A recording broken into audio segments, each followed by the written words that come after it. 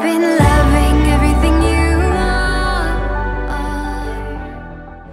what's up guys? Arvind here. So in this video I'm going to show you how to get the Galaxy S8 look on your Android device. So a few days back Samsung announced the Galaxy S8 and S8 Plus and there are some significant changes that, are, that have been made in the phones from the design to the UI to the performance and everything has been changed in the new Galaxy S8 and S8 Plus. Now if you liked those minimalistic icons those beautiful wallpapers those beautiful widgets then in this video I'm going to show you how to get get the Galaxy S8 look on your Android device in just a couple of minutes.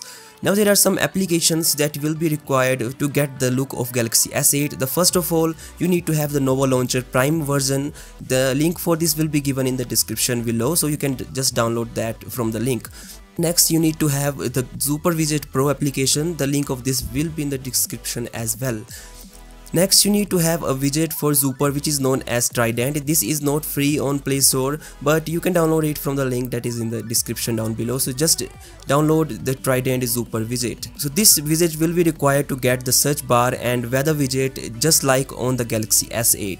Next, you need to have the Galaxy S8 icons application which is not free on the Play Store but you can get this from the link that is given in the description down below. So overall, all the links will be given in description so just download all the applications that are required for this and once you have downloaded all the applications along with the backup file of Nova settings then what you're gonna do is you, you just gonna go to the settings of your Nova launcher once you are in the settings just go to the backup and import settings. Then from here you need to just go to restore or manage backup. And then you need to select the file that you have just downloaded.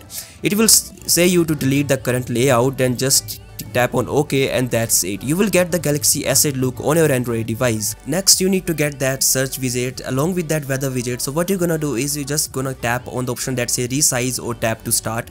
Then select Trident from the options that are given here and then you need to select the search bar first. Once you have selected that just resize it as you like and next you need to do the same for weather widget. So that's it. That's how you can get the Samsung Galaxy S8 look on your Android device in a couple of minutes. If you like this video then share this video with your friends. Like this video, subscribe to my channel and I will catch you in the next one.